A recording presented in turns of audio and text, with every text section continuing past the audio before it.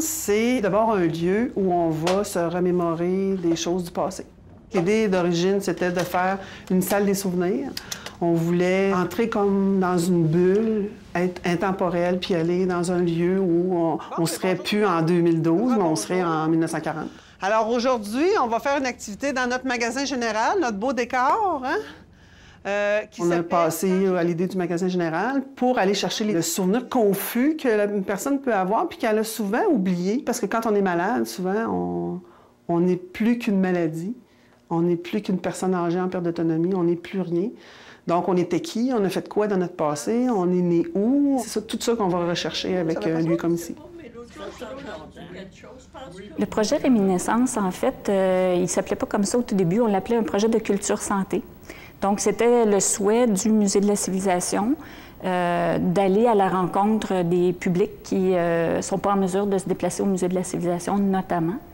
Et euh, le souhait un peu plus particulier de se rapprocher du milieu de la santé, tout comme au Québec depuis peut-être les 20-25 dernières années, le milieu de la culture s'est rapproché du milieu de l'éducation. Alors, la première clientèle qu'on a identifiée, c'est les gens, les personnes âgées qui sont en perte d'autonomie, puisque, euh, étant en perte d'autonomie, euh, ils n'ont pas la facilité à, se déplacer au musée.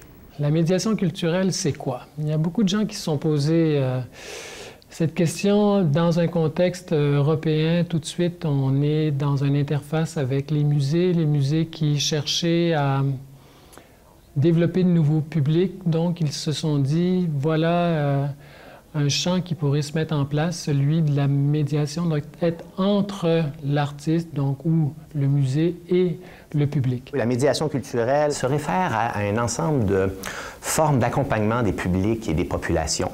Euh, dans leur euh, rencontre avec euh, des œuvres d'art ou des processus de création qui s'incarnent dans des dynamiques de transmission de la culture ou d'appropriation de la culture, selon qu'on a affaire effectivement à des publics déjà constitués, aguerris, auquel cas on on axera notre travail sur la transmission culturelle ou avec des publics euh, ou des populations qui ne sont pas euh, encore véritablement inscrits dans une pratique culturelle intensive. C'est pour ça qu'on évoque l'idée de population et qui euh, fera ses premiers pas par une appropriation de la culture qui se mutera, si on veut, au fil des, des, pratiques, au fil des, des, mois, en une participation réelle à la culture.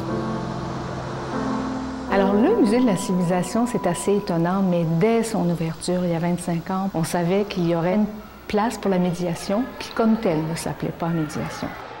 On était le premier musée au Québec et au Canada à avoir un service distinct. Euh, ce parce que pour euh, s'assurer qu'il y aurait une équipe qui, serait, qui se concentrerait sur l'aspect d'action culturelle, qui aurait des budgets qui seraient consacrés et que personne ne pourrait les phagocyter. On a donc fait un service de l'animation culturelle dont j'ai pris la responsabilité, moi, peut-être euh, un an et demi après l'ouverture du musée et que j'ai transformé en action culturelle parce que déjà on avait l'intention avec l'équipe de déborder des moyens traditionnels qui étaient la conférence, euh, le cinéma, les colloques, les séminaires, tout ça existe encore. Mais il y a vraiment beaucoup d'autres euh, outils qui ont été développés pour faire de la médiation culturelle et éducative. Il y a quelque chose qui a toujours existé, qui est le service d'éducation dans les musées. Et euh, le Musée des beaux-arts de Montréal, lorsqu'on a rencontré euh, certains responsables, nous disait qu'ils font de la médiation culturelle depuis 1860 parce qu'ils avaient effectivement ce souci d'une intervention auprès des visiteurs. Ce qui change avec la médiation culturelle, c'est qu'on va maintenir ce souci d'éducation, d'accompagnement à l'intérieur de l'institution, mais on va aller plus loin. On va, on va effectivement faire en sorte que l'institution soit présente à l'extérieur, ce qui n'avait à peu près jamais été le cas auparavant. Il n'y a pas qu'un public de musée, il y a vraiment euh, beaucoup beaucoup de, de, public. Il y a des, ceux que j'appelle les amateurs avertis. Quand on fait une exposition, on sait que bon, les férus d'histoire seront là, ils veulent en savoir plus. Il y a des tout petits qui viennent en milieu scolaire, euh, il y a des, gens de secondaire, il y a des gens qui aussi ont peur de franchir euh, l'espace du musée parce qu'ils disent ah, c'est pas pour nous, c'est trop savant. Il faut donc trouver des moyens d'aller les rejoindre parce que ce musée-là, c'est d'abord c'est une société d'État, c'est un musée d'État, ça appartient à tous les Québécois. Il faut qu'on soit capable de les rejoindre euh, où qu'ils soient. Et c'est comme ça aussi qu'on a développé des produits pour des plus petits publics. Alors ici, on est dans le magasin général La Belle Époque, euh, le magasin général du Centre d'hébergement Loretteville. Euh, qui a été notre premier euh, prototype pour euh, le projet Réminiscence. On s'est dit, on va travailler avec une artiste qui a déjà ses lettres de noblesse comme muraliste. donc, on a travaillé avec Mélanie Gay pour recréer un trompe-l'œil d'un magasin général. Chaque objet étant présenté dans le magasin général a fait l'objet soit d'un euh, d'un échange d'idées avec les résidents, euh, de l'apport des professionnels du Musée de la civilisation, des idées d'un peu tout le monde. Juste la présence de l'artiste dans nos murs, ça a déjà été un événement en soi qui a attiré beaucoup les résidents. Les résidents venaient voir comment on, allait peindre ça, puis comment ça se faisait faire euh, du réalisme sur un mur, comment que l'artiste pouvait travailler. Puis l'artiste était ici en résidence de, presque deux mois pour faire sa murale. Donc, ça a été des belles relations qu'elle a établies avec nos résidents qui venaient voir euh, comment les travaux euh, avançaient. Puis euh, on peut ajouter ça? Puis ils mettaient leurs mots. Puis, fait que dans le fond, notre magasin général, il reflète beaucoup les commentaires de nos résidents. Si on a un musée qui ne s'occupe que de la culture avec un grand C, si on a un orchestre symphonique qui ne fait que de la musique avec un grand M, eh bien, on ne voit pas le travail qui se fait, par exemple, de rapprochement. M. Nagano le fait, par exemple, pour se rapprocher du public, amener la musique symphonique auprès de personnes qui sont dans des quartiers défavorisés, auprès de, de populations qui aimeraient entendre, aimeraient connaître ce genre musical-là, mais qui, par leur milieu, n'y ont pas accès. Donc, la question de l'accessibilité est centrale. On va s'assurer que les visiteurs, après euh, les, euh, les moments de, visite, euh, puissent avoir un lieu de rencontre, de discussion, de retour sur leur expérience, et de telle manière, donc, à ce qu'on puisse s'assurer que l'offre était au rendez-vous, parce qu'auparavant, la logique était, était telle qu'on se disait, l'offre, elle est bonne, il faut maintenant que les publics soient à la hauteur. Euh, là, maintenant, on a une rencontre entre les deux. C'est-à-dire, euh, l'offre est déterminée de telle manière qu'elle puisse aller à la rencontre des goûts et des aspirations des publics. C'est euh, les chargés de projet du musée qui nous ont placé deux beaux présentoirs. On a commencé avec une collection des objets du musée. On a fait deux expositions de mémoire. Puis après, ben, c'est sûr que c'est devenu un peu compliqué parce qu'on voulait devenir autonome aussi dans, dans nos présentations. Fait qu'on a fait appel aux familles. Euh, aux résidents qui sont lucides pour nous laisser leurs choses en présentation pour quelques mois. On a commencé par des choses qu'on redonnait. Puis là, ben, on est rendu avec des choses qu'ils nous donnent. Puis euh, on fait des rotations. Aux deux mois à peu près, on fait des rotations. On s'est dit, on va ensuite l'accompagner d'un programme d'animation qui va faire en sorte que les intervenants intervenantes qui travaillent dans les centres d'hébergement vont euh, vont pouvoir pousser le projet un peu plus loin et être autonomes pour exploiter le magasin général euh, sur une plus longue euh, durée que simplement le fait d'ouvrir les portes du magasin général puis faire de l'échange spontané. Alors, cette deuxième phase-là a permis de développer un programme d'activité qui, qui, est vraiment convivial et facile d'utilisation. Ça, c'est quoi ça? Euh, euh, damier. Un damier, ça Les défis, quand on veut faire de la médiation culturelle, je dirais le premier, c'est de respecter qui on est. De pas se prendre. Le musée n'est pas un travailleur social, c'est pas un travailleur de la santé. Euh, le musée est un acteur culturel. Alors, on, on s'en tient à notre mandat, mais notre défi, c'est d'aller chercher les bonnes personnes pour nous aider à explorer d'autres territoires. Il faisait, faisait toutes sortes d'affaires. Ils sont nés dans une feuille de chou. L'autre défi, qui, je l'admets, pour tout milieu culturel, tout milieu de la création, c'est de se renouveler. Et euh, donc, oui, il y a une recherche un petit peu angoissante pour, euh, pour les médiateurs parce qu'il faut se renouveler, parce qu'on est dans une société qui s'habitue très, très vite et qui, qui, qui, qui, a envie de passer à autre chose. Alors, les, les personnes qui fréquentent les musées ne sont pas différentes, elles sont très, très exigeantes. Et le défi aussi, c'est de savoir euh, allier euh, les, les, besoins des, des, différents publics, mais aussi ce qu'on peut acheter, ce qu'on peut, ce, ce, ce qu'on peut apporter de plus, parce qu'on ne demande pas ce qu'on ne connaît pas. Alors, oui, on veut répondre aux besoins, mais on veut aussi offrir d'autres gammes d'émotions, d'autres gammes de, de, de savoir. Un, deux, trois, go. Le premier défi pour le Musée de la civilisation, ça a été de bien comprendre à qui ce projet-là s'adressait et quelles étaient les particularités de ces gens-là. Donc, nous, on apporte la connaissance de la médiation culturelle et eux apportent la connaissance des clientèles et du fonctionnement du milieu de la santé, mais en particulier euh, la réalité des personnes âgées en perte d'autonomie qui vivent dans les centres d'hébergement public. Donc, dans nos approches, nos façons de faire, les activités qu'on proposait, il fallait s'assurer d'une extrême accessibilité des contenus. Ah non, c'est ça, c'est la théière. Moi, j'ai travaillé au contenu des activités et toutes ces activités-là ont été testées ici avec des résidents. Donc, il y a eu des réajustements euh, parce que des fois, les questions étaient trop difficiles, euh, le lettrage n'était pas assez gros, le contraste des lettrages, etc. Fait qu'on a tout le temps, tout le temps bonifié nos activités. À mesure que les, les résidents nous disaient des choses, on les changeait. Il s'est même posé la question à un moment donné, jusqu'à quel point irons-nous à simplifier les contenus sans perdre le sens pour le Musée de la civilisation de faire les choses pour cette clientèle-là? Et il y a eu des discussions, voire des débats à l'interne qui ont été euh, euh, fort enrichissants à ce sujet-là. Et on s'est dit non, c'est pas, c'est pas parce qu'on simplifie à l'extrême les contenus qu'on en perd le sens, parce qu'on touche les personnes, on les touche au plus profond et on, stimule finalement euh, un éveil, des réactions, des communications, des échanges entre les personnes à partir d'une expérience culturelle. Et ça, l'expérience culturelle, c'est notre, c'est notre mandat à nous de, le, de, de, de, les, de les proposer, de les susciter. Il y a toujours une part euh, d'inconnu sur l'effet euh, que l'on produit quand on est en médiation. Euh, on, pense qu'on a développé des, des publics pour différents types d'activités, mais l'impact réel sur d'autres disciplines, c'est difficile à mesurer. Mais on sent qu'il que, qu y a un accroissement, on a des gens qui sont, qui sont plus fidèles. Il y a certaines évaluations qu'avec le projet Réminiscence, on a une, une, évaluation formelle et il y a un impact réel. Euh, Martin? Oui, Martin. Martin, on, on va peut-être le voir, hein? D'un coup qu'on le voit. En tant qu'animatrice, c'est sûr que ça nous apporte la connaissance de nos résidents euh, parce qu'on n'a pas juste un dossier où il y a des maladies. On a l'histoire des personnes avec ça, on a leur caractère qui apparaît, leur, leur, euh, les événements marquants de leur vie qui nous racontent.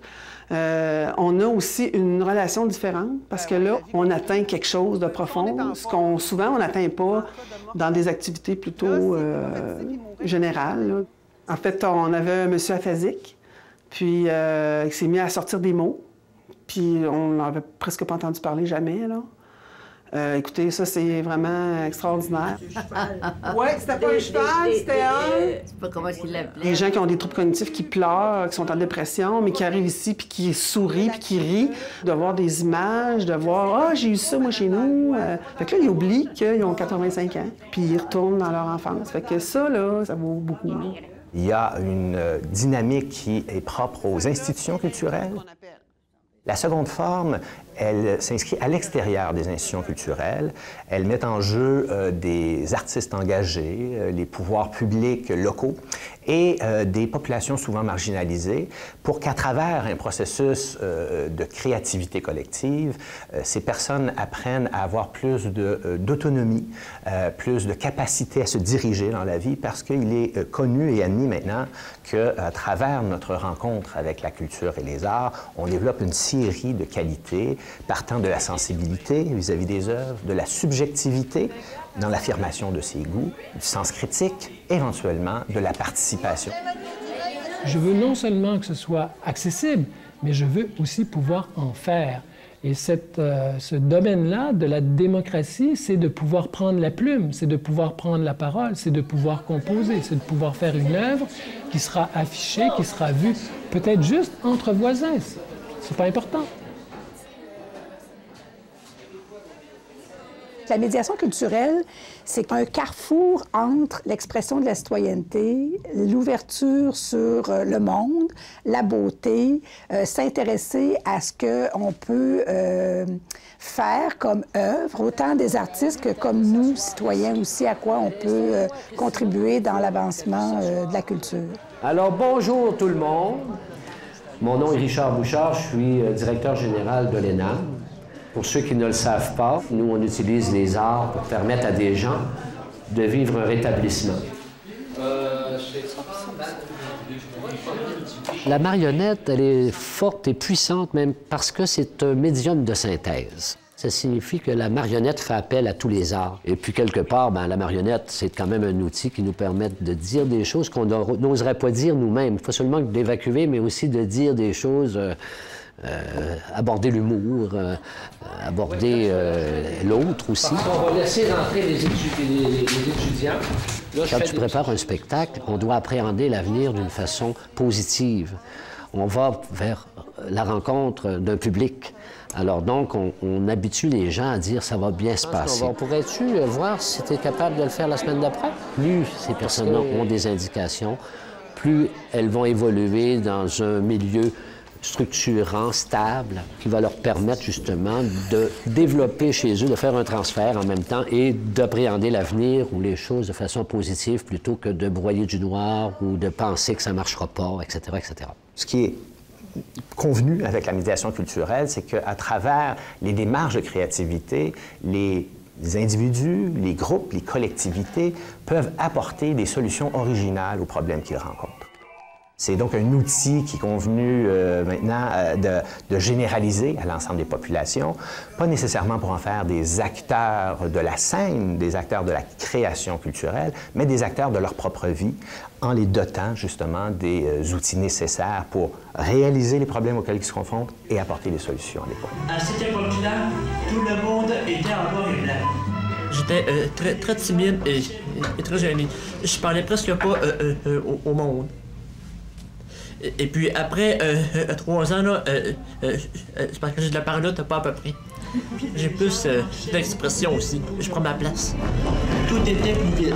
Ça m'apporte à prendre plus confiance en, moi et, être plus ouvert aux, autres aussi, à, comprendre d'autres personnes aussi. On partage comme, comme un conte de fées.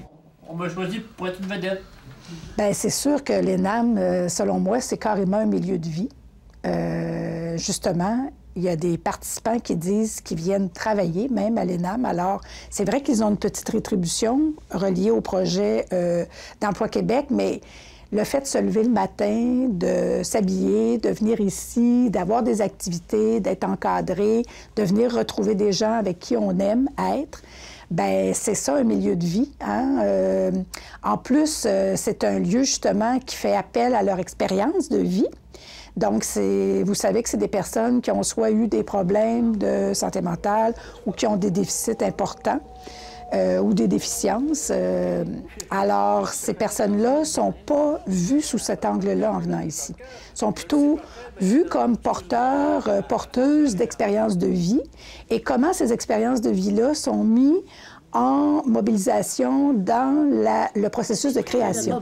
On va avoir ton temps. de la, schizophrénie. la schizophrénie. Quand euh, j'ai commencé, moi, à faire du théâtre, c'était plus mon objectif, plus l'aspect artistique qui m'intéressait là-dedans. J'ai toujours eu une sensibilité pour le social puis euh, l'approche euh, en éducation. je me suis impliqué de plus en plus afin de mieux comprendre ce qu'on qu'on pouvait faire avec ça, les, arts. Euh, tout de suite, été inspiré. Après, j'ai eu des doutes. Je me disais, c'est quel est le rôle du marionnettiste? Et après, quand j'ai compris que vraiment, notre rôle était de, comprendre jusqu'où l'art pouvait nous mener dans, dans ce développement-là de la personne, puis dans la stimulation des personnes souffrant de maladies. En réalité, on a l'impression que l'art, c'est du luxe, c'est un luxe qu'on peut se payer ou pas. Et là, on est en train de se dire, ben regarde, euh, c'est plus que du luxe, c'est utile, c'est nécessaire en éducation, c'est important de travailler avec ce médium-là et de comprendre ce qu'on peut faire de mieux pour, euh, pour notre population, plutôt que de rien faire ou de penser que seule la médication peut euh, régler des problèmes. On est dans ton imagination. Au Québec, euh, on a une pratique d'action culturelle, d'action communautaire, ancrée dans les milieux, souvent dans du développement local, souvent en marge du politique, de l'économique, et des pratiques très diversifiées partout en région, en milieu urbain, sans qu'il y ait nécessairement l'apparition d'un terme particulier pour caractériser les animateurs, animatrices dans le domaine de la culture. On a eu l'idée au départ de créer les NAM pour répondre à un besoin un besoin, parce qu'on trouvait ça intéressant, justement, l'approche de l'art-thérapie par la marionnette. Et on s'est dit, ben, il y a des associations, mais il n'y a pas d'école existante. C'est sûr qu'au niveau de la santé mentale, euh, il y a eu quand même un peu d'action, euh, c'est-à-dire d'intégrer les personnes. Il y a eu la, partie des institutionnalisations où on a dit, euh, bon, ben les, les, clients, on va les, on va les sortir des hôpitaux, puis on va leur offrir des services. Mais là, par rapport à offrir des services, quand ça n'existe pas, c'est plus difficile. Je pense qu'il y a beaucoup de clients qui se sont trouvés le bec à l'eau. Par contre, nous, à l'ENAM, on existait. Ça fait que donc, on a passé à travers toutes ces crises-là, mais euh, ou ces changements-là, mais on existait, donc on pouvait quand même offrir le service à une clientèle qui était à l'extérieur. Une des parties originales de notre activité, c'est le fait de pouvoir associer justement notre travail au monde de l'éducation et du travail. Autrement dit, les participants qui souffrent d'une maladie ne sont pas associés à l'hôpital. Dès lors qu'on entre dans le champ socio-artistique de la médiation culturelle, effectivement, on, entre dans un carrefour d'intervention et d'intervenants. Pourquoi? Parce que euh, ces rendez-vous-là sont destinés à euh, des des populations qui vivent des, problématiques spécifiques.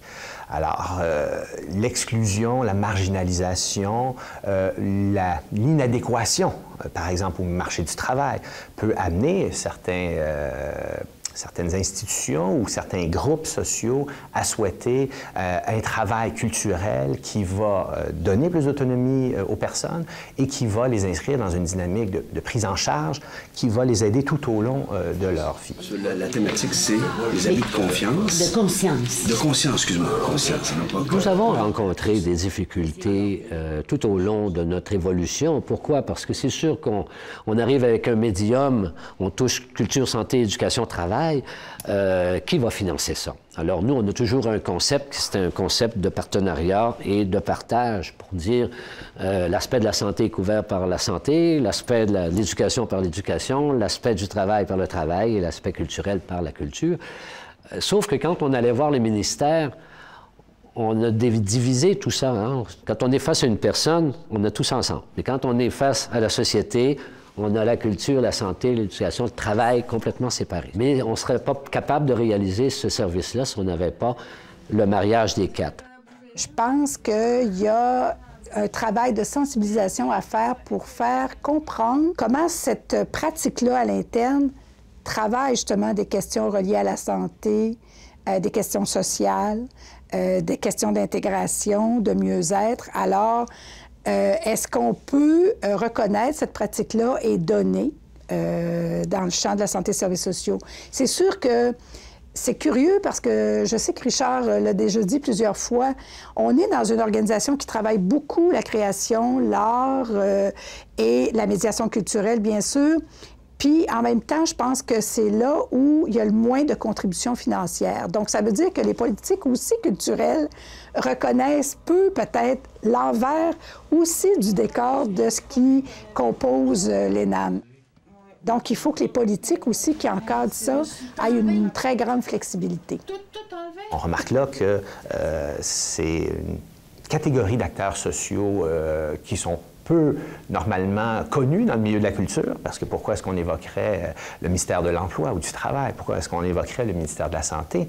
Euh, or, ce qu'on constate, c'est que euh, même dans les milieux de la santé, dans le milieu du travail, dans le milieu scolaire, on, remarque l'apport de, la médiation culturelle et on conçoit maintenant qu'il est possible d'y engager des ressources collectives, des fonds publics, parce que, effectivement, les preuves sont maintenant faites que ce travail-là peut être plus bénéfique qu'un travail plus quotidien d'accompagnement des gens dans leur euh, euh, demande d'emploi, etc. Trois heures et quart avec ça, là. On a beaucoup de partenaires euh, qui, collaborent évidemment à, nos différentes activités. Alors, même si nous aussi, la question du financement est, aussi un, problème, on a quand même des outils, des espaces, et dans la mesure du possible, on essaie de, de faire ensemble parce que parce que chacun dans son petit coin, euh, quand on est plusieurs à travailler à un, même, projet ou à donner notre petit coup de pouce, ben, c'est sûr que ça a plus, plus d'impact. On a ouvert des portes qui ne se refermeront jamais parce qu'on est allé vers des publics, on s'est adressé à eux, on a établi un dialogue, un échange. Et ça, il y, a, quelque chose qui est ouvert, il faut que ça se nourrisse et que ça que ça va se poursuivre. À quoi ça va ressembler, je ne le sais pas. Puis je dirais que c'est heureux qu'on ne sache pas, parce qu'il y a tellement, tellement de possibles. C'est tellement stimulant. Mais c'est certain qu'on ne peut pas revenir en arrière. Il y, aura, il, y a, il y a vraiment, au fil des années, une, présence des, visiteurs qui s'est installée pour, pour, du théâtre. Ce sera des spectateurs, bon, peu importe où on est, mais c'est installé et ça va, ça va continuer. Ça ne peut que se déployer, grandir. Je ne sais pas où ça va aller, mais on ne peut pas refermer la porte.